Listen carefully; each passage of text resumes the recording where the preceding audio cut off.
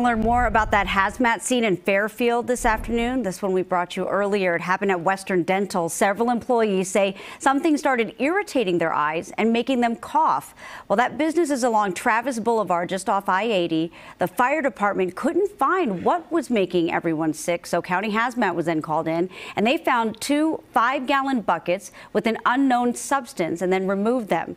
They're not working with employees to figure out what that substance was.